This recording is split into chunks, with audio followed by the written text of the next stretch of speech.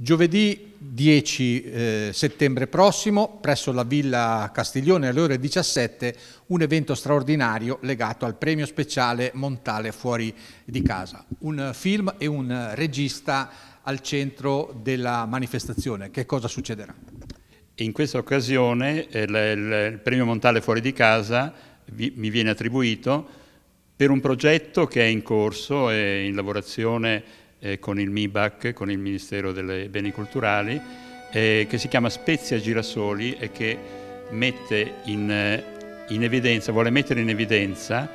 l'obiettivo addirittura più ambizioso, cioè di ottenere alla, alla, alla, fine di un lungo percorso il, eh, il, il patrimonio eh, mondiale dell'umanità dell'UNESCO per i palazzi Liberty di Spezia, che sono una ricchezza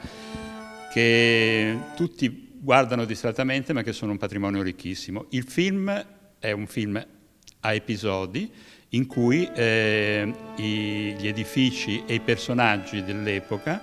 dal 1898 fino al 1924, eh, eh, sono quattro episodi. il primo è dedicato alla contessa di Castiglione, ci saranno coinvolti eh, tutti attori, quasi tutti attori spezzini, da, da Giancarlo Giannini a Valeria Dobici e, al, e altri eh, diciamo, eh, attori spezzini tipo Matteo Taranto, Roberto Linghieri. Nell'arco della giornata sarà, eh, che inizia alle 5 e finisce grosso modo alle 8,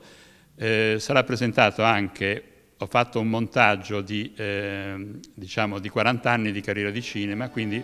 facendo dei piccoli spot per quasi tutti i miei film e sarà presentato anche eh, una cantata eh, eseguita eh, dagli allievi del conservatorio dove io insegno